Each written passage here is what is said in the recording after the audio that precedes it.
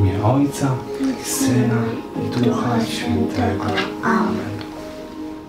Wznoszę swe oczy, ku górą skądże nadejdzie mi pomoc pomoc mi przyjdzie od Pana, co stworzył niebo. niebo i ziemię. On nie pozwoli zachwiać się Twej, Noce, ani nie zdrzemie ten, który nie strzeże, oto nie zdrzemie się, ani nie zaśnie.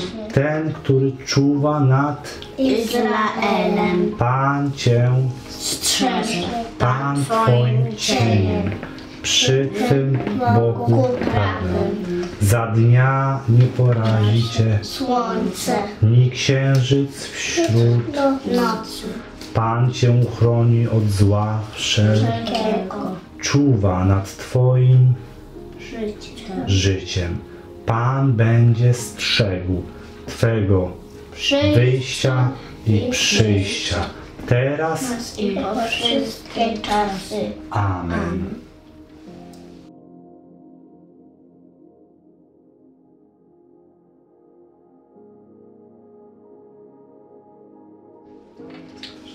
Zmiłuj się nade mną, Boże, w swojej łaska. O ogromie swego miłosierdzia. Wymasz, Moją nieprawość oby mnie zupełnie. Mojej winy. I oczyś mnie z grzechu. mojego. Uznaję bowiem moją, nieprawość.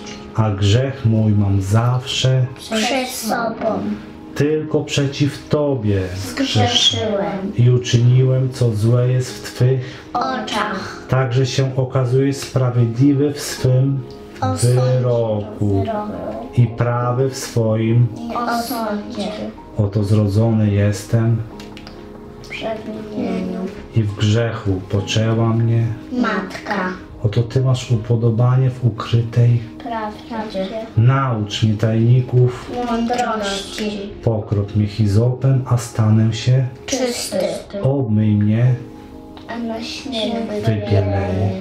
Spraw bym usłyszał radość, i wesele. Niech się radują kości, któreś. Skruszył. Odwróć oblicze swoje od moich nie. grzechów. Grzechów. I wymasz wszystkie moje przewinienia. Stwórz, o Boże, we mnie serce czyste i odmów mojej piersi ducha. niezwyciężonego Nie odrzucaj mnie od swego. Oblicza. I nie odbieraj mi świętego ducha swego. Przywróć mi radość z Twojego zbawienia i wzmocnij mnie duchem ochoczym.